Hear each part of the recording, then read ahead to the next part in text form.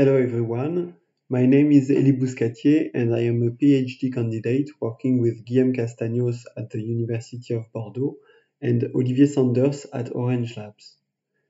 This is a presentation of our work on public key encryption with flexible pattern matching. In classical public key encryption, the receiver generates a pair of keys that allow others to send him private messages. Today, most internet traffic is encrypted to ensure the privacy of users. But this encryption is incompatible with functionalities like intrusion detection systems, where a service provider searches the traffic for patterns that indicate malicious activity. In a searchable encryption scheme, the service provider can query the receiver with such a pattern and get a trapdoor that allows him to learn the presence of this pattern and no other information. Searchable encryption is a name that is used for very different schemes. In the case of email routing, the search is performed on encrypted keywords that are attached to the messages. But in the case of deep packet inspection, it is somewhere in the stream of the traffic that the pattern may appear.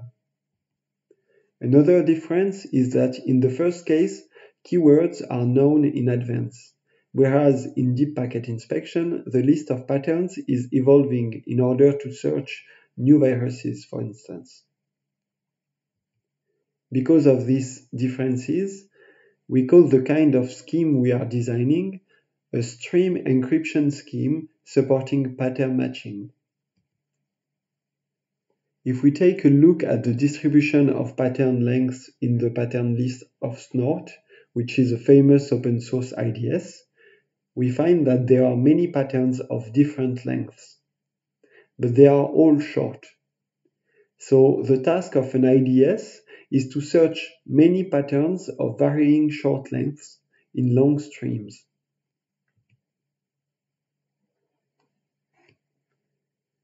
There exist generic solutions to process encrypted data, such as fully homomorphic encryption and multi-party computation, but their versatility comes with heavy costs in computation or in communication. So we want to use specific schemes that are more efficient. In 2015, Blindbox showed that it was possible to search a string in a stream using pseudo-random functions, but with a very strong limitation. Encryption is performed at a string level using a fixed length sliding window. Here, for instance, it is all the substrings of four consecutive letters that will be encrypted. And this will only allow the receiver to give trapdoors for keywords of length 4, like the keyword host but not the keyword hostile.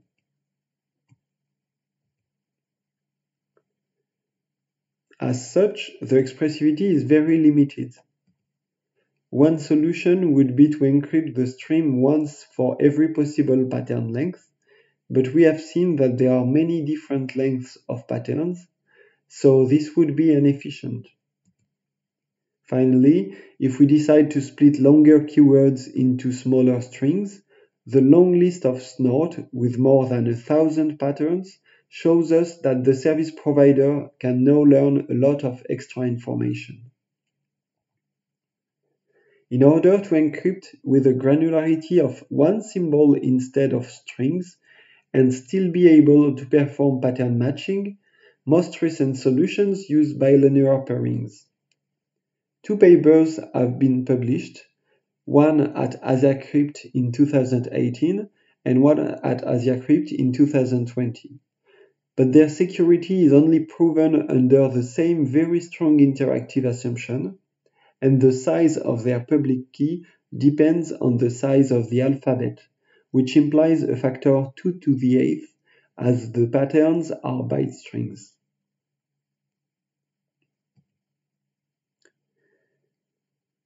To see where these limitations come from and how we address them in our paper, I will first show you some common ground to all these constructions. Then we will come back to a more precise description of these ex existing constructions. And finally, we will show our contributions. Bilinear groups are a setting where we have three groups, G1, G2, and GT, of prime order P, and a map E that sends a pair from G1 cross G2 in GT. The bilinearity property of E, written here, shows that this map can be used to perform a multiplication in the exponents. In the type 3 setting, we assume that there is no isomorphism between G1 and G2. As many modern schemes, we use this type 3 setting, which is very efficient.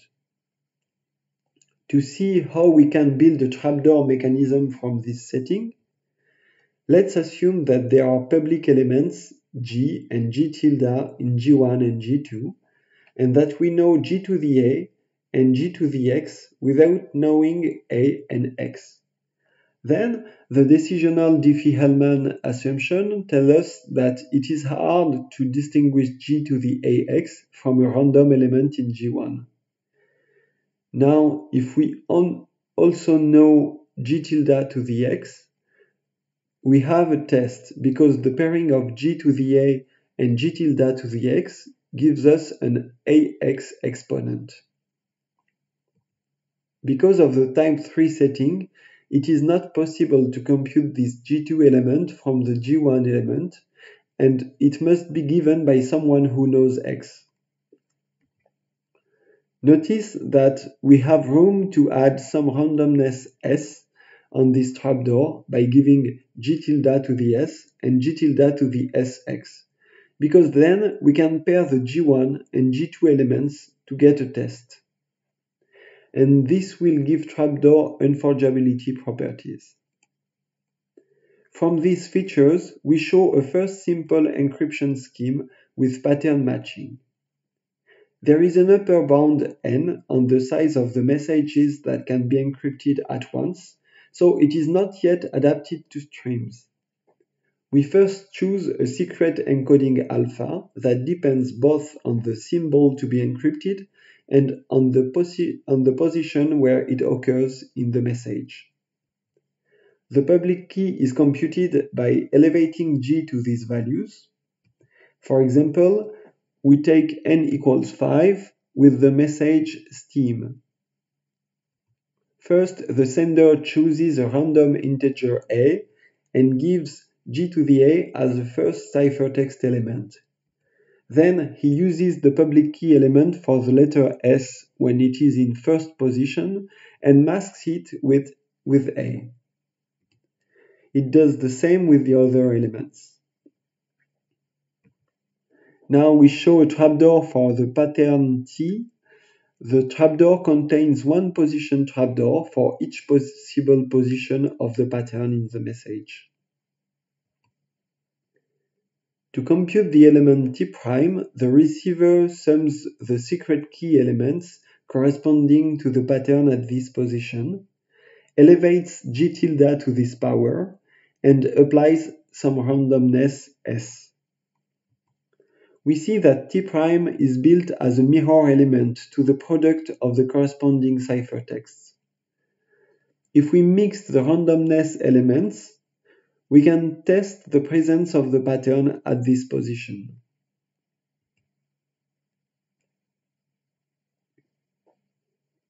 As we encrypt with a granularity of one symbol, we can test patterns of any length under n, even with wildcards inside the pattern. One test at one position uses only two pairing evaluations, whatever length the pattern is. But the message cannot be arbitrarily long, and if we try to handle streams by taking a very large value of n, then we get a very long public key and many possible offsets for the trapdoors. We now we look at the existing schemes with these ideas in mind. The AsiaCrypt 18 paper shows us that it is interesting not to choose our secret encoding completely at random. Instead, this paper uses one encoding for the symbols and uses powers of some secret value z for position randomness. So this encoding consists only in monomials in z. Let's see how this changes the simple scheme. If we take a look at the position trapdoors, we see the exponents are polynomials that only differ by a factor z. So if we could multiply the exponents by power of z, we would only need the first position trapdoor. To do this, we will use pairings, so we add powers of, the, of z elements in the public key. We replace the randomness element by additional ciphertext elements. And now we only keep the first position trapdoor.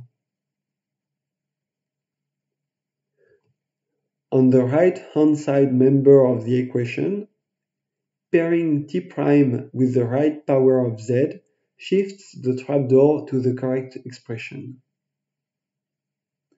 But there is a forgeability issue because the shifted elements share the same randomness and so they can be combined. This forces us to use one randomness element by term in the T prime exponent. And this trapdoor now has more randomness elements Ti. But the worst part of it is that in order to apply this randomness on the corresponding ciphertext elements, the product symbol has to go out of the pairing, making this test use a linear number of pairings in the length of the pattern instead of just two. Thanks to this shiftable trapdoor mechanism, the size of trapdoors doesn't depend on the length n anymore. But we keep the same other limitations and the cost for testing is higher. The AsiaCrypt 20 paper takes advantage of the pattern distribution to change the encryption strategy. The stream is long, but the patterns are short. We have seen that if n is large, so, so is the size of the public key. And anyway, this upper bound n is incompatible with streams. Instead, it is possible to split the stream into fragments about the size of a pattern and encrypt each of them. To encrypt each fragment, we can picture that we use our simple scheme. A naive way to split our, our stream is to make consecutive fragments and encrypt them. If a pattern is contained in one fragment, then we can test it. But if the pattern straddles two fragments, we cannot. A good solution is to encrypt the message twice with some offset. Now, if the pattern is there we can test it with the encryption above it. And if it's there or there, we can test it with the fragment below it. We see that the fragment can be about the size of the patterns and that we can encrypt arbitrary long streams with this strategy. Also, a position trapdoor can be used to perform a test at its relative position in any fragment. So we don't need shiftable trapdoors anymore. This way, the AsiaCrypt 20 paper manages to remove at once all the limitations of the encryption of streams. Here, L is the maximum pattern length. But the public key depends on the size of the alphabet, which is 2 to the 8th in the IDS applications. And the security still rely on the same strong assumption. Now let's present our contributions. The encryption used for fragments in the original paper was actually based on the shiftable trapdoor scheme. But as the shifting mechanism is now useless and costs many pairings, they break it by using even more sophisticated expressions. This sophistication becomes a real problem when it comes to develop additional properties like a better security. In the intuition of our paper, we show that the simple scheme that we have seen can, can advantageously replace the scheme they use to encrypt fragments. We get the same properties but with a simpler scheme that uses half the number of ciphertext elements. We can instantiate the secret encoding alpha to have a public key size that doesn't depend on the size of the alphabet. Here, we assume that the alphabet is some publicly known subset of the integers modulo p. This is always possible as P is very large. And we only use secret randomness xi and yi to encode the position. Alpha now takes the form of one random linear function of the symbol at each position in the fragment. Note that the symbol is used directly instead of some secret encoding. We then show that this choice of alpha gives a secure scheme under the same interactive assumption as the existing solutions. Again, we have the same scheme structure, but where the sender computes the ciphertext elements by using the symbols directly. Everything else works as in the simple scheme. Now, before showing how our second scheme achieves a better security assumption, let's see an intuition of the security definition for all these schemes. It is the usual selective IND-CPA security, but where the adversary has extra power. He can query trapdoors with minimal restriction. For example, if the two committed challenge messages are killed by a blushing crow and killed by a crushing blow, then the pattern blush is an invalid query because it appears in only one of the two messages and therefore a trapdoor could be used to distinguish which one is encrypted. The pattern led by is a valid query because it matches both messages at the same position. This implies that the ciphertext cannot be given at random for positions where the messages are identical. And this is the main reason why adaptivity has not yet been achieved even in our second scheme. Finally, the pattern blushed is a valid query because it doesn't appear in any of the messages. In the security proof, the simulator has to give some public key element for the letter B and this simulator must be able to produce a trapdoor for the pattern blushed that contains the mirror element of the public key 1. We see that a classical Diffie-Hellman assumption doesn't give elements in both groups. Therefore, in our second scheme, we use EXDH, which is a natural extension of the Diffie-Hellman assumption. This extension is static, simple, and it is used in existing e-cash schemes. To use all the elements of this assumption, we need more elements in our scheme. So we add some extra elements zi in, in uh, the first scheme. We add them to the public key and they are used to make additional ciphertext elements. Now the trapdoor can be randomized with exactly two values, and the expression of T prime will have enough flexibility, yet simplicity, to show the security of this scheme based on EXDH.